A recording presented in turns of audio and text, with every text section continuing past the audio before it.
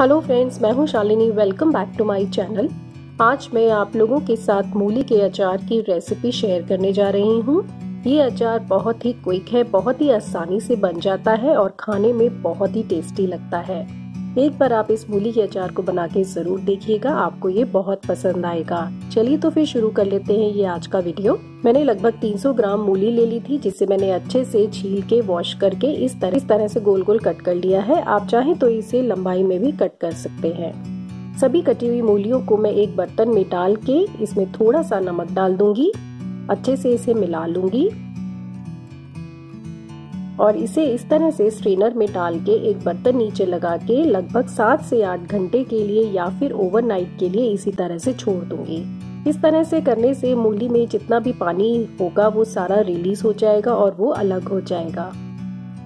आठ घंटे हो चुके हैं, मूली को मैं चेक कर रही हूँ। आप देख सकते हैं, देखिए कितना सारा पानी इसका अलग हो गया है। अब मैं इस मूली को एक प्लेट में निकाल लूँगी और इसे लगभग दो से तीन घंटे के लिए धूप में सुखा दूँगी। दो घंटे की अच्छी सी धूप के बाद देखिए, मूली काफ़ी ड्राई हो गई है।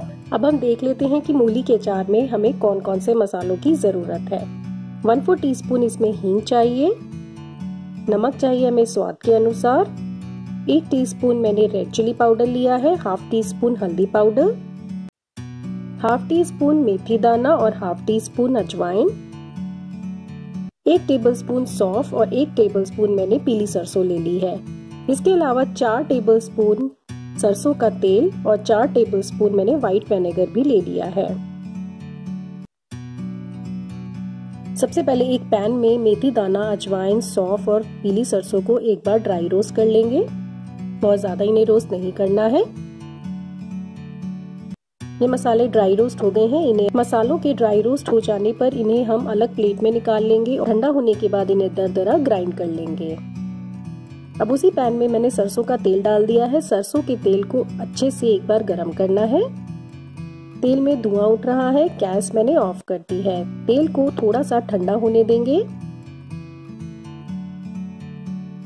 तेल थोड़ा सा ठंडा हो गया है। इस पे मैं डाल दूँगी हींग। जो मसाले हमने ग्राइंड करे थे, वो भी डाल देंगे। और साथ ही डाल देंगे रेड चिली पाउडर और हल्दी पाउडर। अभी तेल थोड़ा गर्म है। मसाले इसमें थोड़े से भून जाएँगे।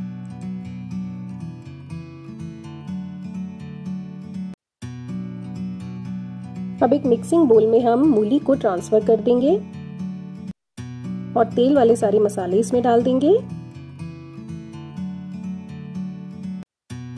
नमक डाल देंगे स्वाद अनुसार। व्हाइट वेनेगर भी इसमें डाल देंगे और बहुत अच्छे से सबको मिक्स कर लेंगे। ये देखिए, सारे मसाले मूली में बहुत अच्छे से कोट हो जाने चाहिए। आप यहाँ पर नमक टेस्ट करके देख सकते हैं। अगर आपको नमक कम लग रहा है तो आप इसमें और भी बढ़ा सकते हैं। अचार में नमक थोड़ा सा ज़्यादा ही होता है। कि मूली का अचार बनके एकदम तैयार, ये अचार एक हफ़्ते के बाद खाने के लिए तैयार होगा। ये अचार खाने में बहुत ही टेस्टी लगता है। आप इसे एक बार ज़रूर बना के देखें, आपको ये बहुत पसंद आएगा। इस अचार को आप शीशे के किसी भी कंटेनर में, जो कि गर्म पानी से अच्छे से धुला हुआ हो और सूखा हुआ हो, उसमें ट्रांसफ़र करके रखें।